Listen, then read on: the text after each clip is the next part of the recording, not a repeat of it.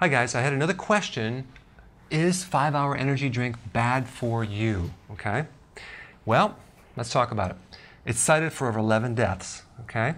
But what that means is that the people that ingested this product uh, had it in their system before they died. It's really hard to prove that it killed them. So a lot of people report uh, symptoms of dizziness, anxiety, and sometimes some people even have a heart attack.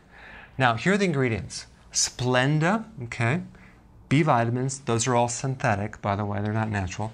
Tyrosine, phenylalanine, taurine. These are amino acids that stimulate the nervous system. They wake you up. Uh, enzymes and caffeine, about 115 to 242 milligrams for a two ounce, depending on if you get the extra strength or not. Compared to an average cup of coffee at McDonald's, which is like 100 to 150 milligrams of caffeine, it's it's a lot more, it's double. So what's happening is you are stimulating the body. Five hour energy drink are for people that are tired. So it's artificially stimulating them, which is eventually going to burn them out. That's what happened to me. I started taking all sorts of herbs and caffeine to wake myself up until eventually my adrenals got burnt out and I had chronic fatigue, and then it didn't work at all. So, to get your energy back, the number one thing you need to do is sleep. You have to improve the quality of your sleep.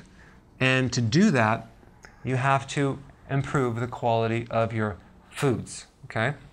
So, the biggest thing that I see for people that are tired is they they actually have a lot of hidden sugars in their diet. They're eating the breads, the pasta, the sugar, and their blood sugars are it goes up and then it crashes down. So they're tired when it goes up, and they're tired and grouchy when it goes down, and they're running on sugar.